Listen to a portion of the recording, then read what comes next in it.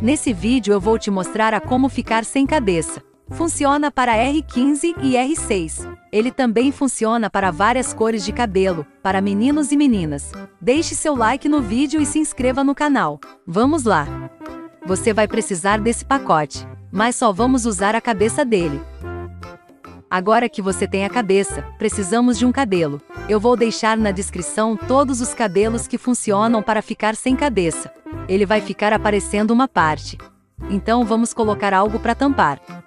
Eu coloquei essa flor, mas tem vários itens que dá para tampar. Eu gosto de colocar outro cabelo junto, porque eu acho fofo. Você pode combinar vários cabelos, mas você tem que estar tá com o cabelo principal, senão não funciona.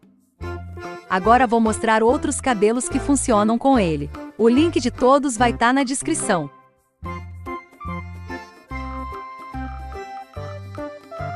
Se você não gosta do acessório tampando, ou se você é menino tem uma outra Eadlis fake, pesquise por Brain, for Eadlis.